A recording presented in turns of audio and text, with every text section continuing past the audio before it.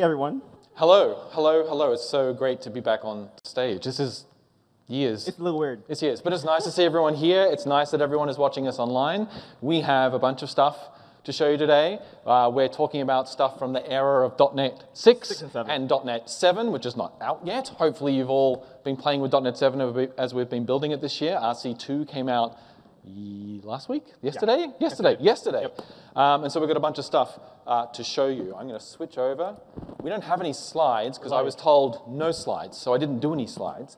Uh, but we have a bunch of stuff to show you. I'm going to show you some stuff first, and then Fowler's going to take over, and then we're going to go a little bit of back and forward. Um, if, got, if you're online, please ask questions. We can see them, and if they're things that we can uh, answer while we're going, we'll do our best to do so. We'll also have some question time at the end for folks in the room and for folks online as well. So, with no further ado, what's that? Da- Damian, David, do we? Oh, are we who am supposed I? to say that? And who are you? Yeah, David, Fowler. you're my PM. And I. so I'm going to write PM code, and then Fowler is going to fix it because he's an actual engineer. I will judge you by watching you on screen Yeah, very closely. and you will make me feel nervous. Okay, so the first thing we're going to look at is rate limiting in ASP.NET Core. Um, it's quite common when building uh, large-scale systems, or even not so large-scale systems, that you might have parts of your application that you want to govern or protect through some type of rate limiting. Okay, it might be that you just want to only allow a certain number of concurrent uh, connections or requests at a certain amount of time. You might want to say, for people with this type of account, you only get this many requests for this endpoint in every 10 minutes, or it might be something a lot more complicated than that. Than that. So in .NET 7, there is a new set of APIs and primitives that you can use in ASP.NET Core to build these types of rate limiting solutions straight into your application. So we're just going to show you a fairly simple one here to get you a, a sense of how this fits together. So at the top here where I'm building out my DI container, I'm adding the rate limiter services to my application. The options for those let me configure a couple of things, obviously. The first one here on line 11 on rejected, it says, hey, if something is rejected as a result of a rate limit, I'm going to go down and run this method, which I'll show you in just a moment, the on rate limit rejected method. But the most important part here is the actual policy. What am I uh, configuring my rate limiting to do in this application? Well, I'm creating a policy called five requests every 10 seconds per session, uh, where a session is a different user in this case. That's long. It is kind of long. I, I like descriptive names. I'm a PM. So uh, th- this, this, I think, is very descriptive, and it means I don't forget what this policy does. I don't have to read the code. Um, then it says, uh, given the context, it's going to call this callback and say, let's build ourselves a fixed window rate limiter. So for a fixed window of time, how many things are allowed to happen in that fixed uh, window of time? Uh, the first thing I have to pass in here is a partition key. What am I going to partition this limiter by? So you can think of a, of a limiter system as one where someone approaches and says, I want to perform this action. The action is governed by a limiter, and so a lease is created that says, yes, you are able to do this, and here are the conditions of you doing so. If for some reason you are rejected, that lease will be uh, in the failed state, and then you can do things with that if you want to respond to the user in a certain way. So to identify different users or to partition this limiter, I'm using a custom cookie that I just made up with a GUID in it, right? It's nothing very uh, complicated. You can use whatever you want to partition your limiters. And then I'm returning here a new uh, uh, uh, set of options for this uh, fixed window rate limiter. I'm saying, hey, it's a 10 second window. I'm going to allow five within that window, and I don't want any queuing. So if it gets over five, I just want it to fail. The lease will fail immediately rather than the request hanging until uh, the limit is up. Damian, that syntax, that new, what is that? So this is called target type new. This was in C Sharp 11, I think, last year's release. Um, and it means that if you've got APIs like this where you need to return something that the compiler knows the type already, or you're assigning to a variable that's already typed that the compiler knows, I can just say new, and it takes care of, oh, I know what this is, you don't have to type it. Uh, it works out really nice here, don't you I'm not think? sure. You're not sure? Okay, well, we, this is what we live for. We debate these things. Every time a new language feature comes out, we all gripe at each other about whether we like it or not. But I tend to like it in this type of, situa- uh, this type of situation. So here's my custom middleware that I'm using to create my session ID. I didn't want full-blown session for this particular uh, demonstration, so I'm just creating a cookie and I'm throwing it in, and if it's not there, I create one, otherwise the limiter is going to use it. And let's get down to the real interesting part here. I've got two endpoints. One that's hello world, and the second one called limited, you can see I've changed this call to require rate limiting, and I've passed the name of that policy. So this is metadata that gets attached to this endpoint, so that if I hit this endpoint, this is the one that is actually limited. So I'm going to start this application, and I'm going to uh, do two windows. I'm going to do an in private window, and I'm going to do the first window. and so that we can see that this limit applies differently to different users, or in this case, uh, sessions. So if I hit execute down here, we can see this API is limited. That's what it came back with. And if I hit execute a few more times, oh, it says too many requests. Okay, and that's going to reset after that 10 seconds. So if I keep talking for a little bit and then I hit execute, it's working again. But if I come over to this other window, which is a different user, we can see if I get this one too many and then I hit execute, this one's working just fine. So I've got different limits applying to different users because my partition key was that custom session ID uh, that I created. Now, when it comes to the behavior of, oh, it rejected it with that 422 or 429 too many requests, that's that on rate limit rejected method that I showed you before that I was passing to the options. You can see it's very straightforward. You get a context, you get a cancellation token, and then I'm retrieving from the lease, uh, tell me how much time the user has left before they can try again so that I can reply with the appropriate HTTP response code and headers, and then that gets sent straight back to the, uh, to the, to the request. And that's it. That's rate limiting. Yep. Super, super, super quick. All right. Go for it. What's next? All right, logging. Um, so everyone knows that logging has been part of .NET Core since inception, right? We have a, an, an ILogger, there's, there's event source, there's all, all kinds of ways to log events and systems um, in .NET. Um, we added in .NET 6 a thing called request logging, so in some applications, people want to log the entire request and response. They want to log the headers, um, their values, the bodies, if they want to, for auditing and, and, and whatnot. Um, looking around, um, what I saw in even internally at Microsoft and you know in the open source and in, in um, big companies, people logging these things would write very, very code that was not efficient. So let me show you an example of what that could look like today. You're, you're in full screen mode. Alt Shift, yeah. This is Damian's laptop. Alt, Alt Shift Enter. Alt Shift Enter. There we go back to the screen. All right, so here's an application. Um, and here's a big warning, don't do this. If you have this, don't feel guilty. This is what everyone would do um, by default. All right, so I have a piece of code in the application that runs every request, and it buffers the entire request body, right? Because you need to actually replay the request after having logged that data. So hang on, the request is coming in. I want to read the data from the request so I can right. log it, but then I have to rewind the request effectively right. so that my app can actually use that data. Right, so you're logging the headers first. So you create a string builder as you would. You log every header here, and then you log that, log it to the to the response via whatever you want to log to. Um, and then we read the entire request body using a stream reader, which pulls the entire thing into memory as a giant string, and then logs that information to the to the system as well. And then we reset the re reset cheap, the logs. Right? So that's fine. Memory's super cheap. Actually, it really is. Okay. Storage is cheap. Um, so we reset the position of the body um, to make sure that other code that runs in the pipeline can read the body again. So it's happening twice, right, per request. Not, not great. Um, and then for the response, it's interesting. The pattern here is you need to set a sink or a stream as the response body so that other code that runs can write into the body. You catch all the data, and then you log it as well. So you replace the response body stream with so your own stream. Exactly. So the typical okay. pattern here in ASP.NET Core is you, you store the old body, right, the current body, and then you set a new body, which is the one to capture all the content. You write into it by so you call next that runs the the pipeline that does routes and MVC and stuff. That unwinds.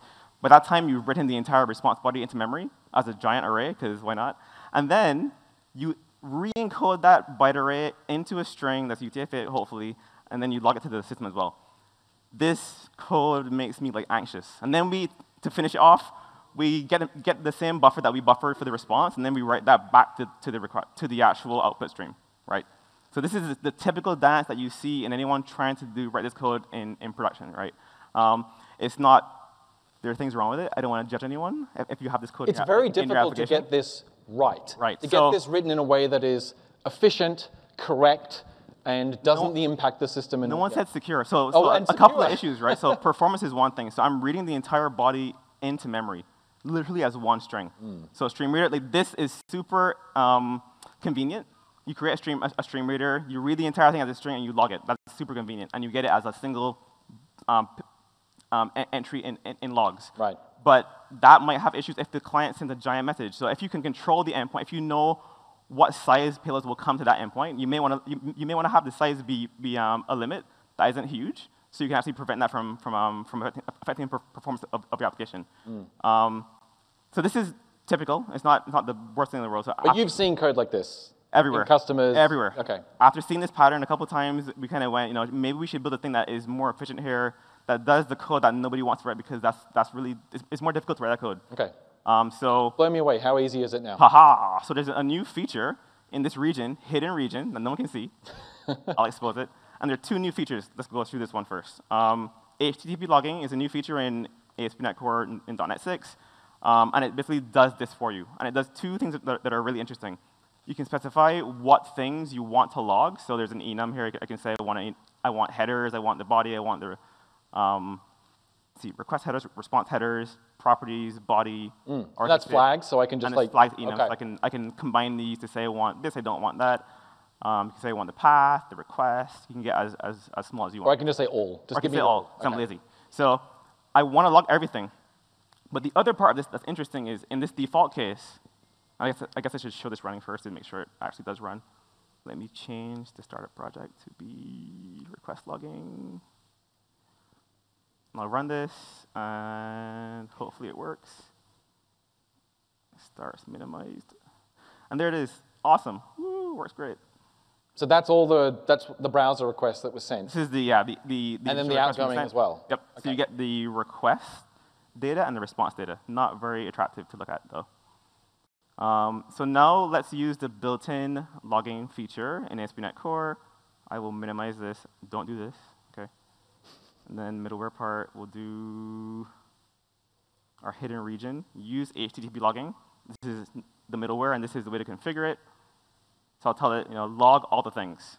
I'll run this again, and it should show me data. Oh. So this is an example of a log from the HTTP logging middleware. And you can see it does a couple of interesting things. It logs the request path, the protocol, all the things as key value pairs, all the headers. But it has this thing called redacted. So we have a default notion of which headers are safe and which ones are unsafe by default. So you can, and, and, and this is also configurable via options.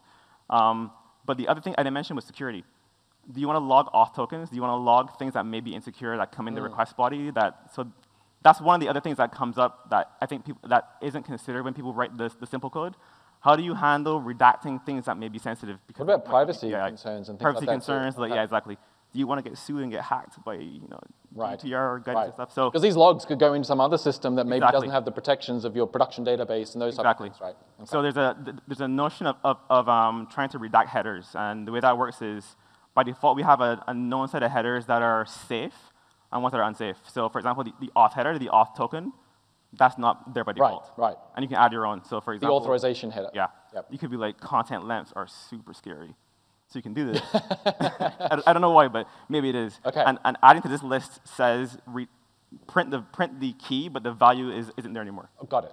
Okay. Um, the other, the other feature it has is request body limit. So by default, we buffer the request on your behalf, and as you read the body, we actually wrote all the crazy code to manage buffering efficiently, and as you read the stream, it will buffer to a background, a, a, a, a pool, pool buffer, um, and it will, go to, it, it, will go to this as it needs to, um, et cetera. So this isn't going to destroy It does all the hard collection. code for you, right? Yeah. It, it does all the code on that, my memory. Correct. Okay it does the code in the right way to make it so, so, such that it's, it's efficient. Okay. Um, and the other knob is if you just want to log the first couple of bytes from, from the request, not the entire thing, you can limit the body. Mm. So let me show you what that looks like in Postman. Ooh. This is a brand new Postman. Look at that, no request. I re-imaged my laptop yesterday, so everything is shiny and new. I'm going to send a raw JSON request. It should be JSON to this endpoint. First, let me, let me make sure this works. And then, like, my age is, like, young. whoa, whoa, whoa, whoa. Your personal trainer is wonderful. I should get Young at heart. Well. Does that work? Did it, did it blow up? Did it work?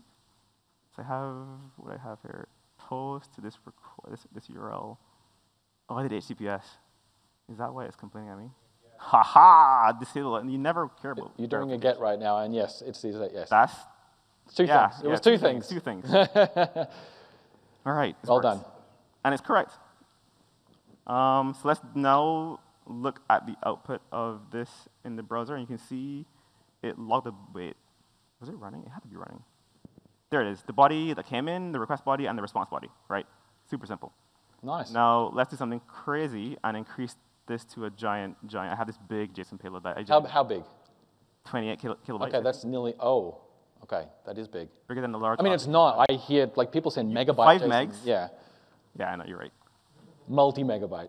Probably bigger. This Someone in the audience is sitting there going, That's tiny. a lot bigger than that. So it logs the whole thing. This is this is what you want. So you're in your logs and you're, you're scanning your logs and you're seeing these giant But payloads. if I wanted to redact something in the body, is that possible?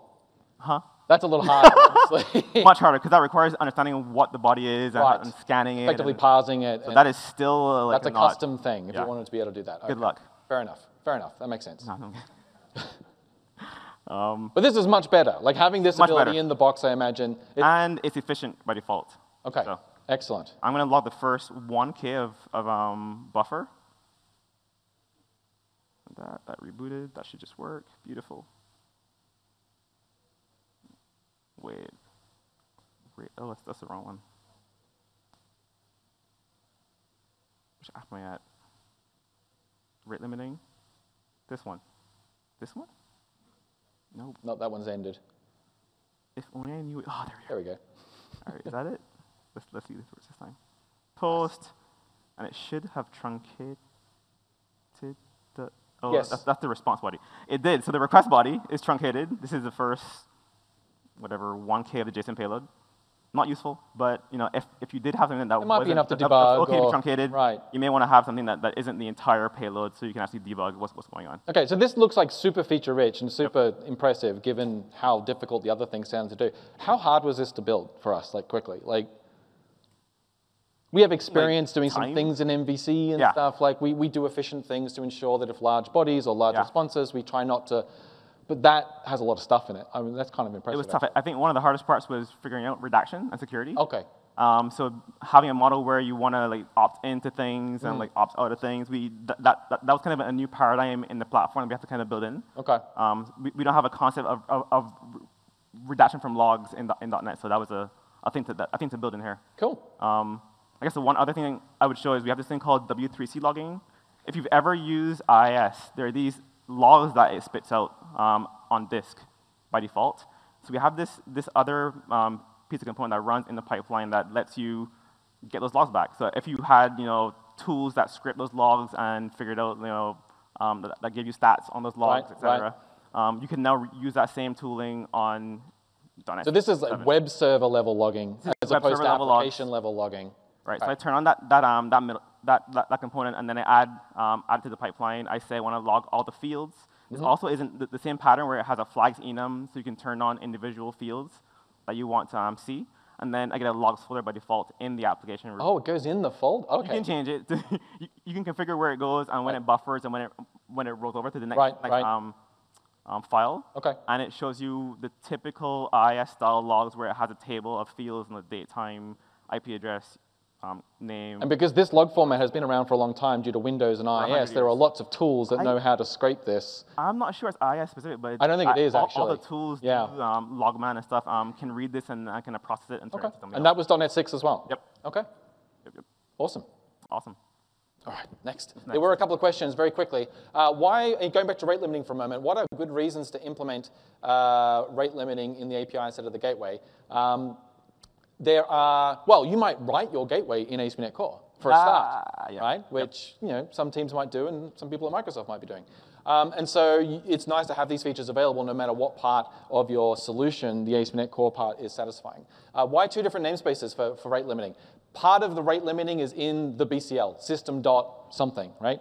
The other part of rate limiting is in ASP.NET Core. So that's in Microsoft.ASP.NET Core rate limiting. And the ASP.NET Core stuff builds on top of the stuff that's in the core components. That's why there are two. The first, for the first question, you might also want to protect the resources on a specific machine. You may want to protect memory. So you may want to have a concurrent limit, a concurrency limit on one node because you want to say, I don't want to have more than n concurrent requests. You may Mm. want to limit, limit um, the resources because you know it only works well for this, mu- this many concurrent um, things, right? So Right. There's kind of two layers. You could do it at the front end as well, but you're also protecting a different set of resources when you do it on the specific node um, Right. Yeah. Okay. And I, I imagine if you were trying to do complex rate limiting where you wanted to tie it to an account or some type of paid subscription, Right. uh, the gateway you're using may not have support for you know, integrating that level of detail into the rate limit rule. Yep. So you might, as you said, do one lot of rate limiting at the front, which is more static, and then do more dynamic rate limiting where all your application logic in process. In right. process, right.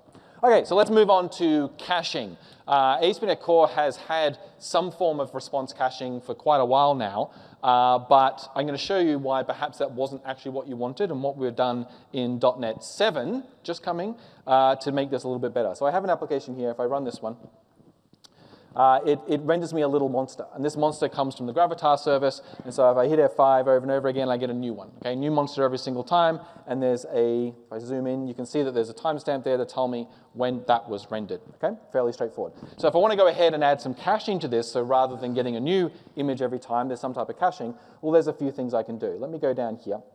And what I'm going to do is I'm going to go ahead and add a middleware in front of this which is uh, use response caching, like so. Okay, no problem. Uh, that puts the middleware in the pipeline. This has been available, like I said, for a few versions in ASP.NET Core. And then I'm going to grab this block of code down here uh, so that I can actually configure this from inside my endpoint uh, to configure what this caching is going to do. So I'm going to add this here. I'll uncomment that. And so what does this code do? Well, it grabs a feature out of the uh, HTTP context, which is our response caching feature. In here, I can set a property that says I want you to vary the cache by query keys, which is very common, obviously, if I send a query string of some sort. In this case, I'm accepting size via the query string because I don't have it in my route, so it'll come through as a query string value. So I want to vary by that. And then I go ahead and say, let's set some caching here. I said public is true, and I want it to cache every five seconds. So if I rebuild that, and I come back over here and I hit refresh, now if I hit refresh every time, it's not working. And you go, well, that's unusual. Why is that not working? I just set up caching. If I hit this load thing down here, oh, it does start working. And this is where we start getting into the intricacies of caching in HTTP and on the web, and how, how the user agent behaves when it comes to caching, and how the server might behave. So the response caching in an ASP.NET Core to date has been what you would term strict HTTP caching. So it uses the HTTP cache uh, standards, the cache control header, to control on the way in and on the way out what the caching behavior will be. And so you probably know that when you hit refresh in a browser, the browser doesn't send the same request it did the time before. It slightly modifies it. It adds a header that says, oh, this is a refresh. I want you to not cache the response. And if you didn't know that, now you do. That's why hitting F5 in the browser is different to hitting a link that goes to the same URL as the current page, which is the difference between these two here. The browser, when you click the link, will go, oh, this is cached. I cached this previously. They didn't hit refresh. They just navigated. So I'm going to give you something that's satisfied from the cache. And if I open up F12 and we watch the network here, and I hit load, and I hit load again, what we'll see, if I can see these things, is over here on you'll see it says these were fulfilled by disk cache and memory cache. The browser tools are telling me that these things weren't actually sent to the server. And then if I wait a little bit longer and then I do it again, we'll see that this time that's not the case because I only set it to cache every five seconds. And you might be saying, well, that's great, Damian. You explain how all that stuff works. That's not what I want. I don't want my cache to be invalidated because the user hit F5. That's not what I expect from application level caching. That's what we've fixed for you in ASP.NET Core 7. So there is now a new caching system that's available, which you can use right alongside the existing caching system, and it's called Output Cache. And for those who have been using ASP.NET for quite a long time, before we had ASP.NET Core, we had System Web, and that had a feature called Output Caching, which worked very similarly to what I'm about to show you here. So instead of using response caching, or next to it, I can say, let's use output caching this time. So now I have a middleware in my pipeline. I think this one requires services as well. Yep. So I'll say add Services.add. it helps if I do that. Add output cache, okay, like so.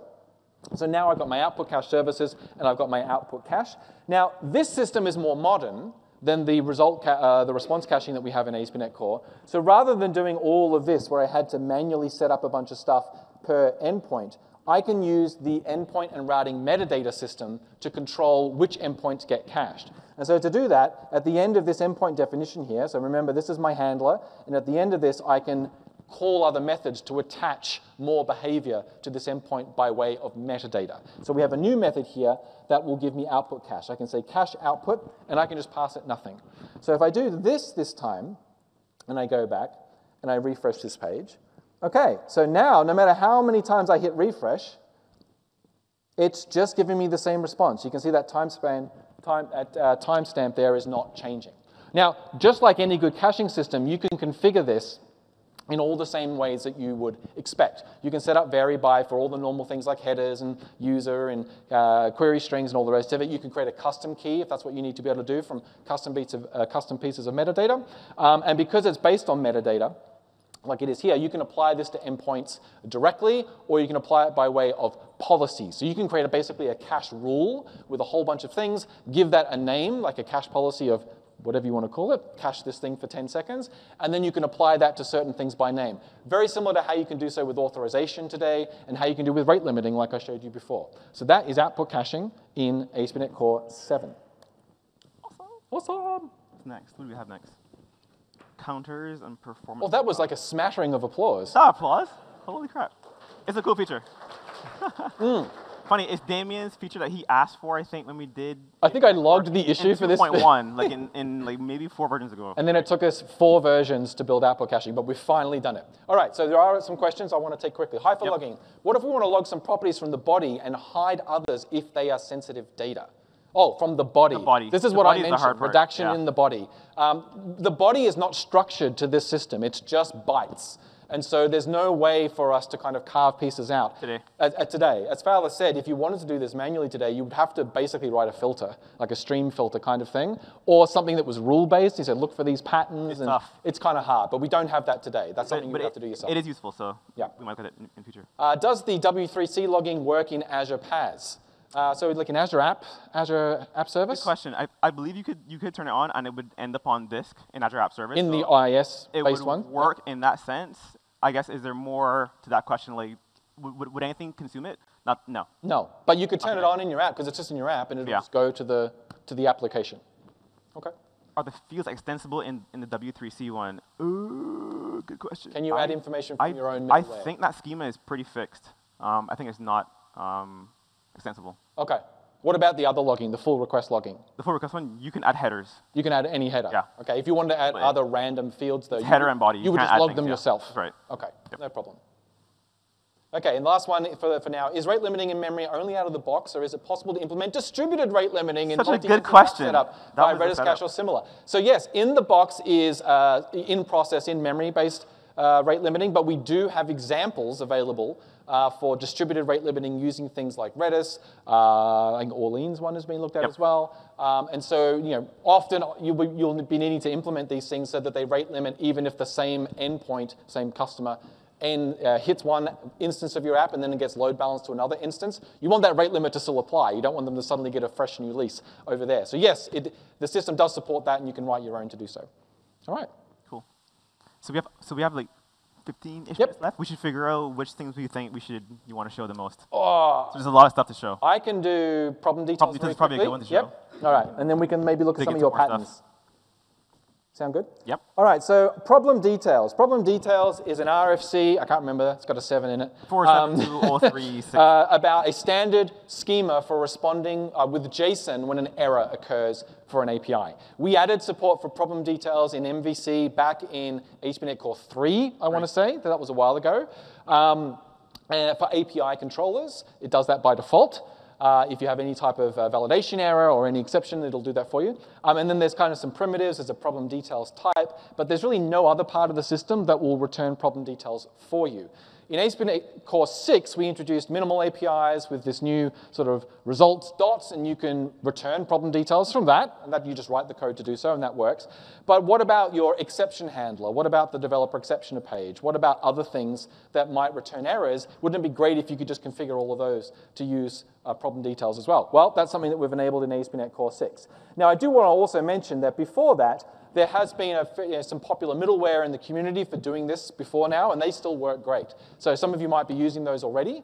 Um, if you want to just put something in your pipeline and have everything get caught and then formatted uh, as a problem details, you can still do that. That's not a problem at all. But we do now have um, uh, new built-in support for this in ASP.NET Core, and it hooks up to a number of the primitives by default. So if I go ahead and add problem details here in my services, which I have, uh, that's kind of all I have to do by default in order to get a few of the existing components to now work with problem details. The first one is status code, status code pages. So if you haven't seen st status code pages before, it's a middleware that sits in the pipeline, and then any endpoint, any response that's coming back that sets a status code without any body, typically, the status code pages can modify the response. So rather than being an empty body, it will format you a nice body for a status code you know, 3.0 whatever or 4 or whatever it is that you want to be.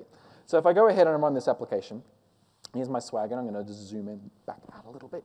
So here's my status endpoint. I'm going to say, hey, let's try this out. I'm going to just make up a status code that doesn't exist. We'll say execute 123, and that's running. It's taking an awful long time. That is not that one. We have so many things running now. That's not that one. Hmm. Let's cancel that one. Refresh that page. Let's try that again. Let's make sure hello world works. Okay, that works well. There's my hello world. Very, very good. Let me do the, uh, I've got an endpoint here that will throw an exception if I execute it. Okay, so there we go. So I've got an endpoint that if you hit it, it throws an exception. If we have a look in here, we can see it's actually returning with, uh, it's returning JSON. And this is the problem details service doing its work for you as a result of me adding the exception handler. So you've probably used the exception handler before. Let me go back to my application, this method right here. This form of using the exception handler has not been supported until ASP.NET Core 7, though. You typically have to pass arguments to say, well, what do you want to do when an exception takes place? Do you want to redirect? Uh, rerun the pipeline, I should say, at this path. You want to run this code. Uh, now you can give no arguments at all, and as long as you've added problem details, it'll actually just go, okay, well, you've got problem details configured. I'm just going to return problem details, assuming that the client supports JSON. If the client doesn't support JSON, it'll just format it in plain text. Okay, so you've got a very nice, very simple, safe, safe. only logs, you know, safe stuff. It doesn't give you all the stack traces and stuff like the developer exception page does by default in the box now, which is kind of nice. Um, I've also got an API controller down here, so if I scroll down, all the way down, I've got a greetings controller, the API controller that I talked about before. Um, and I just want to show that this service that's new in 7 that you can customize will plug into all the places that understand problem details in ASP.NET Core. So if I go back to my application now, and we try and hit the greetings, I'll try that out, hit execute. Okay, so that's working, but if I hit it again, oh, this one uh, logged an error. So I actually set up this endpoint so that if the current time ends in an odd second, it throws an exception because it makes it really easy to demo, right? I say, so if I just keep hitting execute here, sometimes it'll work, and then, then, then it throws, okay? Super nice. And so what it says down here is I've got my problem details, and you'll note that it actually puts the trace ID in there for me automatically, which is super, super nice. But what if I want to add my own fields to this problem details and have them show up everywhere where problem details is returned by my application? Well, you can customize the problem details. So I've got a, a, method here, customize problem details, which I'm going to hook up now. So if I go back to where I add problem details, and I just pass it this customize problem details method group, I'll show you what that code does. It's pretty straightforward. It's like most stuff that you would see in ASP.NET Core. We'll just hide this one.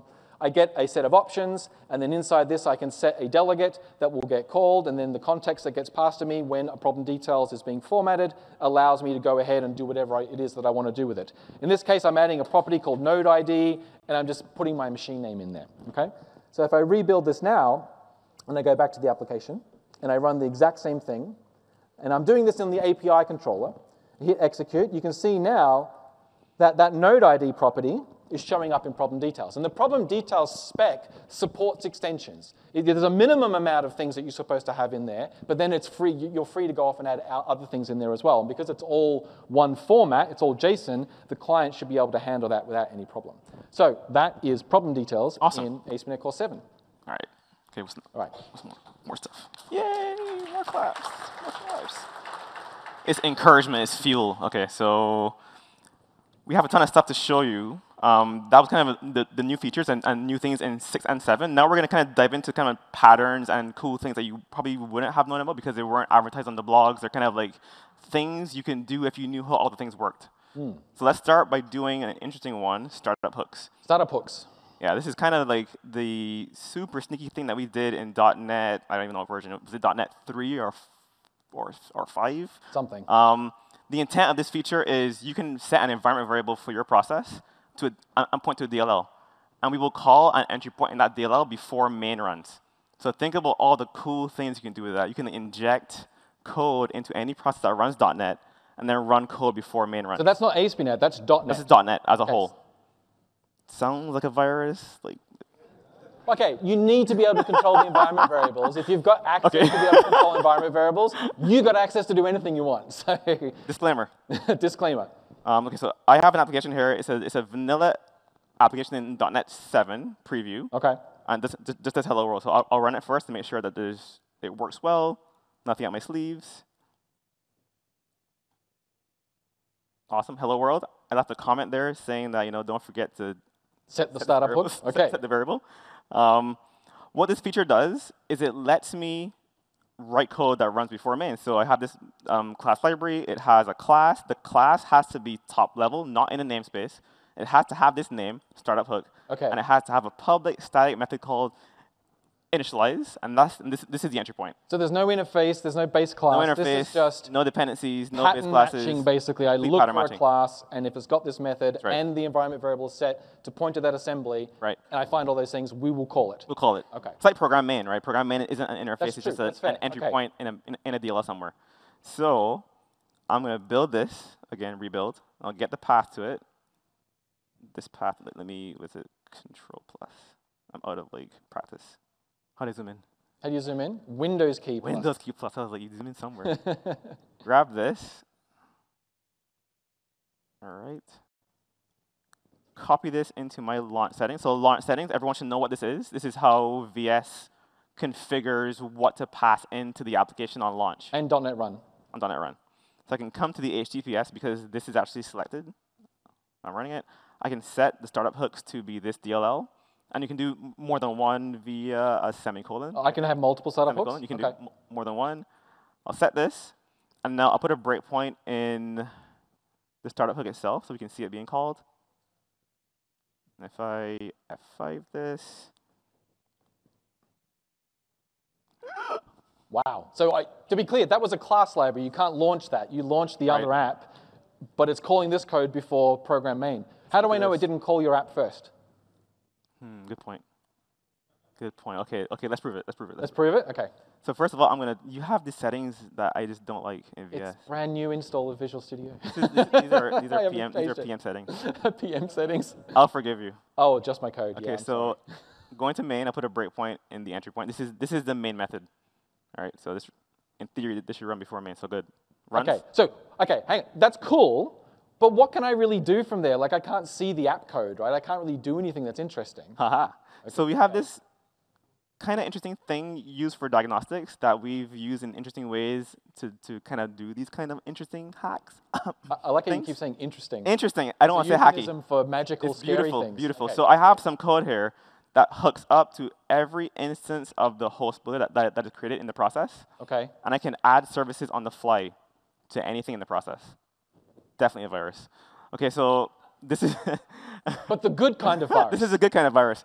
This is like antibodies, an engineered virus Antibodies. to target a disease. I see. Like a movie okay, like virus. this. Okay, so I subscribe to that um, event listener.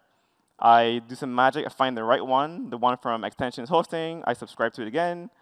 Um, then I get an event saying the host is being built, and the value I know because I added this code um, is a host builder, and I can change the environment to magic. So when I run the app, it should have an environment that isn't development or production. It should, be- it should Okay, so in theory, I could set this environment variable for a whole machine. I could put the DLL in a location on that machine, and then every .NET app on that machine, if it was ASP.NET Core, would now be running in an environment called Magic. this is correct. Okay. Which I could have just done with an environment variable because ASP.NET Core lets you set the environment name from an environment variable. ruin the demo. Sorry, but if I'd wanted to do something else, I could, have done that as well. I can add services, configuration, logging. You can build cross-cutting things that kind of affect every app. So you can do cool stuff like, I want every app to have a logger. I want every app to have these things. And this is one way of kind of getting yourself injected into the process without having devs have to write code Could I add a controller? class. You can definitely. I could can- add like an endpoint to every app. This is all powerful. This is like God mode. This is pretty cool. So I run this, and if I look at the 16th window that we have open, the environment name is magic. Isn't that scary? That's awesome. Scary, awesome. Very cool. Awesome. So we actually use this. So Visual Studio uses this to inject tooling into your process when you launch from Visual Studio. You didn't even Uh, Azure uses this to inject certain things into your app when you enable things in your app that didn't require you to change code. right? This is how they do that. Sneaky. So you can utilize this to do things in a cross-cutting fashion without your app having to be changed at all. Now, with great power comes great responsibility. Nah. The code that you write in that startup hook, if it throws an exception that is not caught, what happens to the app? You try catch. You swallow it. Let the app If, run. well, the app can't try catch it. Your, the startup hook has to try Be catch it. careful. Let it. Let it. So yeah. you have to be very careful with the code that you write in here, okay? But it's incredibly powerful. All right, we are under five minutes. I want to show one more demo before we go to questions. You gonna show it? The trimming, like, Have, oh, make gonna the show the, smallest the app big one. Okay, the do. big one. Okay, you got do it. All right, so Damian has been coding all week on this thing, and he wants to show it. Okay. actually, it was in the description for the talk. He's so so proud- he's so proud of it. Show I'm, proud of you too. So, who, um, I, I'm assuming that there are people here who have heard and or watching online who have s- uh, heard about .NET Native AOT. There's been a long uh, sort of history of what would it mean, how cool would it be if I could take .NET and I could run it uh, or compile it down to a native, a native executable, something really, really small, okay? Uh, smaller, faster, uses less memory. That's kind of the, the, the promise that we have. So if I'm just going to jump out here and I'm going to go to another folder I have called trim to do. And for those who are interested in looking at this afterwards, this is up on my GitHub repo, github.com slash Damian Edwards slash trimmed to do, is where I'm investigating kind of this, this interesting area uh, to do with .NET trimming and .NET AOT, .NET Native AOT, which are somewhat related. Na- uh, native AOT uses trimming, okay? It's a spectrum. So first you It's a spectrum. You trim, and you go native. right? Or it's actually a, a larger spectrum, right? Because you Yeah. go normal publish, framework dependent, uh, self-contained publish, bring the runtime with me, Right. single file Single file. publish, huge executable, 100 megabytes, but now everything is in one exe, a trimmed single file where we knock out everything that you don't use, and there's different levels of trimming that you can turn up or down because it can be complicated, right, to make sure that it doesn't break your app. Then there's ready to run, which is like an extra thing that will add the native bits back to your app so that you don't have to JIT during improve, startup. to improve start time, But, the it file makes size your app gets bigger. much bigger because there's native stuff. And then there's turn it to 11, which is AOT. Okay, which is the JIT, and you just you throw it in the garbage. so uh, just to land, just to finish here, I'm going to run a script which says "Hello World console." I need you to believe me. This console app is just Hello World. It's all it does. Okay. All I'm doing here is building the application and passing the right flags to it so that it gets built. And then I want you to cast your eye to this part of the output here that tells you the, how big the final application was, which in this case was under a megabyte. And so I was able to create a console application, a .NET console application that does nothing else but say hello world, you know, granted, but the whole thing is a self-contained executable, native with no JIT, um, that is under a megabyte. I also have another one here that is a web app. So if I do hello world web, and I run that one, which I'm hoping will finish before we do, um, we can kind of see the difference. The repo has different grades. So it has like an empty web app, it has a stripped web app where I turn off a bunch of stuff, it has HTTP Listener, and it has uh, sort of a, a prototype Kestrel Direct. Uh, so this one is 17 meg, quite a lot larger because ASP.NET Core has a lot of features. Right? All the great stuff that we show you, that's all in the box. Uh, depending on what you got used, we then trim all of that out, but we have to do more work in the framework to make it more trim friendly. So I, I encourage you to go and look at that if you're interested and have a look at how small uh, we can make those applications. And I want, to, I want to let you know that we are working on this every single release to make it smaller and more compatible with the apps that you're running today. With that, we have about a minute and a half. So, Mr. Hanselman, To make it smaller, we delete code. I'm also streaming live on TikTok. So Is it TikTok? That's nuts. this is my first time on TikTok. Your first time on TikTok? Well, it'll be your last time on TikTok probably. because no, no one is interested in this content on, on TikTok. Cool. Well, we've only got one minute left, and you've already answered a couple of questions here. Uh, it looks like we're doing pretty awesome. Uh, did you answer this question here from Samuel saying about new project templates that include these kinds of middleware? Are you going to see that in .NET 7? Any new templates? Probably not. No, when man. it comes to templates, we tend to try and keep them fairly um, slim Then um, because adding the, not everyone wants all this stuff. every combination, every like dial, you'd, you'd have too, too many templates, I think. right. Yeah, so no. All right, and then everything that you showed is out in the sense of it's in an RC of .NET 7. Either in six or it's in an RC of seven. You didn't show right. anything that was secret, and it's all in whose GitHub? Yours? Uh, in my GitHub repo is this solution that we were talking. It's just Ignite 2022 at Damian Edwards uh, in GitHub. Um, and then the README points to other ones if that's what you want They're to see. so one of the cool that we can get to show you. in And will that AOT stuff be like, is it supported or is it Right, being so for .NET in 7, preview? for .NET 7, it is supported for console apps. So you can turn it on for console apps. For ASP.NET Core applications, you can turn it on, and it might work, like this one right here. If you can make it work, But it's not supported yet. All right? It might trim things you don't want to trim. It will very It likely might. trim things that it shouldn't. it and will then your app definitely, will it fail. will And do definitely. you need a trim things manifest to say don't trim that? Yeah, and then that, that experience isn't great. So we're There are working ways on to it. do it. All right. Yeah, there, We're there is to make it work. All right, well, that is the end of day one of our tech sessions here. Thank you very much, David and oh Damian. Thank you to all of our friends in the audience. I do also, uh, I want to give a shout out to all of the folks behind the scenes that you don't see, the folks that are doing the audio, the folks that are doing the video, our friends at the uh, ASL translators here, and all the other cast of thousands that make this stuff possible. I hope you have a wonderful time at MS Ignite, and I hope that you do join us tomorrow in this room as we have another six amazing technical sessions from people that you know and a couple people that you don't know. Make sure that you fill out your evals, please. It's super important. And also check out .NET Conf. We're going to have even more technical sessions and even more David and Damian at .NET Conf the first week of November, free online. So register for that. And we'll see you soon. Thank you.